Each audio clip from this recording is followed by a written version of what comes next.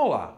Hoje há confirmações para a CES 2014 e a Xbox One está à porta. Bem-vindos à Swam News!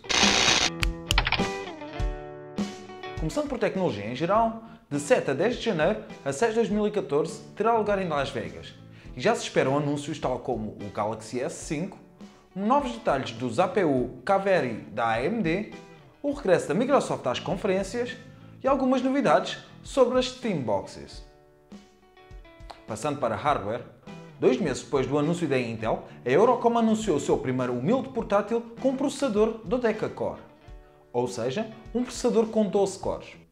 Este portátil pesa cerca de 5,5 kg e, tal como todas as outras bestas da Eurocom, é personalizável e por 4.237 euros já traz incluídos 16 GB de RAM, uma Nvidia 670 MX com 3 GB de memória, um disco Hitachi de 1TB a 5400 rotações, um carregador de 300 watts e um ecrã LG de 17 polegadas Full HD.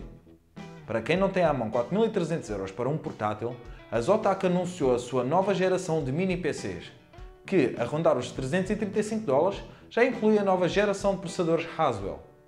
Um deles é o ID91, que traz incluído um Core i3 Dual Core a 2.9 GHz, 4 GB de RAM DDR3 e o chip gráfico Intel 4400, capaz de correr FIFA 14 a 67 FPS com os gráficos no máximo.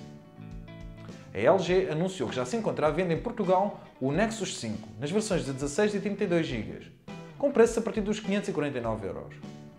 No entanto, o site oficial não tem qualquer informação sobre a existência do dispositivo, e nenhum do site das três grandes operadoras também tem informações sobre este dispositivo.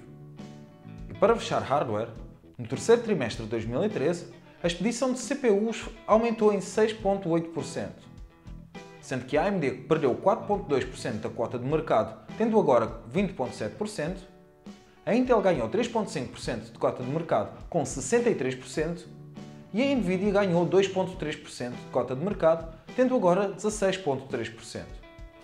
Passando para software, 15 anos depois da sua primeira versão, o famoso leitor de música Winamp tem uma data marcada para o seu fim.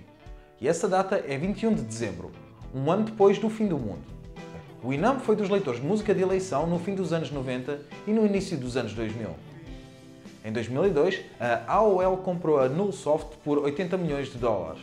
E recentemente a versão Android ultrapassou os 10 milhões de downloads. E mesmo assim, a AOL diz que depois da sua data não disponibilizará mais este software para download. Para fotógrafos ou designers, a Adobe prolongou e expandiu a sua oferta de descontos e mensalidades no Photoshop CC e Lightroom 5, dando a todos os utilizadores o poder de usar estas aplicações por 12,29€ por mês em vez de 24,59€ por mês. Anteriormente, esta promoção apenas estava disponível para os utilizadores que já estivessem com a versão CS3 ou posterior. Mas até 2 de dezembro, qualquer um pode aproveitar. Antes de gaming, pensem nisto. Como sabem, este mês é Movember, onde todas as pessoas deviam usar um mostache, sejam homens, mulheres, gatos, cães, pintainhos. São escolhas. No entanto, eu sugiro que façamos o Tropical Sember, que não é um dezembro onde todos temos que andar com um Guaraná na mão, mas sim um dezembro onde todos vamos a tropicalprice.com comparar os preços das lojas Amazon à nossa volta. Vão a tropicalprice.com e comecem já a poupar. Saltando para gaming, na véspera do lançamento da Xbox One, a Microsoft desativou a sua página de suporte disponibilizava a atualização obrigatória para quem não tinha acesso à internet. Segundo a Microsoft, esta não era uma alternativa, mas sim uma solução para os utilizadores que não se conseguiam ligar à Xbox Live tendo internet na consola. E sendo um processo complexo, a Microsoft prefere ajudar pessoalmente em cada caso. A Twitch publicou alguns detalhes da sua aplicação para a Xbox One.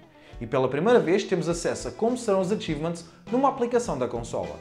Alguns exemplos incluem juntar-nos a um canal com 100 mil utilizadores para obtermos o achievement apenas há espaço para ver de pé, ver 10 horas de Twitch entre as 7 e as 11 da noite vários dias para obter o achievement horário nobre, ou mesmo ficar numa sala com menos de 10 utilizadores durante uma hora para obter o achievement Ipser.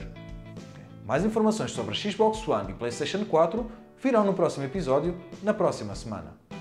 Para terminar, a All Things D teve acesso a um relatório da Sony que mostra que a PlayStation 4 custa 381 dólares a fabricar apenas menos 18 dólares que o seu preço de mercado, sendo 100 dólares o preço do chip da AMD e 88 dólares 16 chips de memória da consola.